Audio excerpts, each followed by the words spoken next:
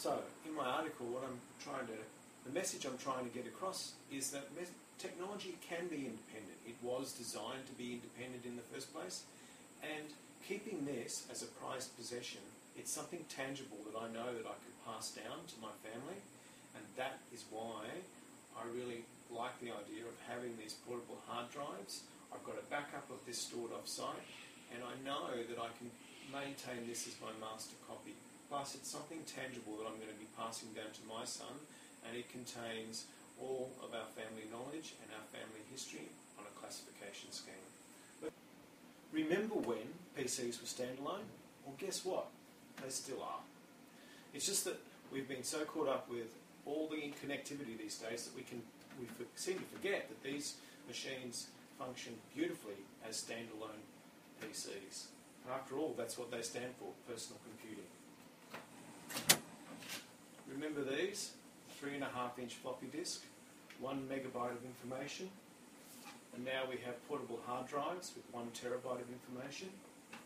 This disk, 1995, still working fine.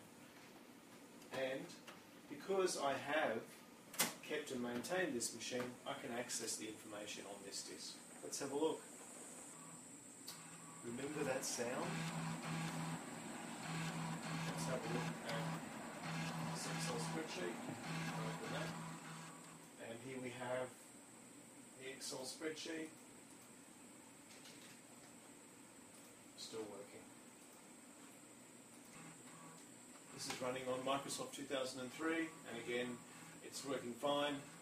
Microsoft are no longer uh, maintaining or upgrading XP, but because this is standalone and not connected to the net, um, I'm able to use the operating system here without any further worries.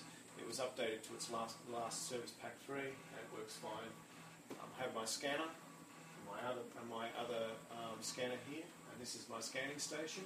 And this PC now operates as the main scanning center for uh, transferring images onto my portable hard drive, which I keep portable. Should old acquaintance be forgot and